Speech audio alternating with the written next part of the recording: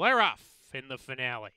Uneventful break. Circus Act on the inside up close to the pace. Also, Handsome Gary wants to be part of the action on the lead. Night Gig not far off. Those three tussle on the lead early on. We come back to Phantom Drop settling in fourth. That's Spine Babe far outside, right alongside. A gap of two to Red Show time with Cannonball coming.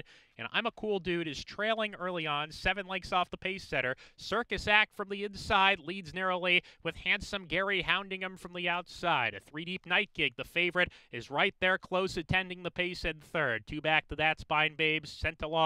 Cannonball coming goes okay on the inside, slips inside of two rivals to claim the fourth position as they come to the top of the lane. Phantom drop losing ground. Top of the lane, and Night Gig makes a move to the front, and Night Gig is taken over. Circus Act back in second now. Cannonball coming is trying to come on on the outside.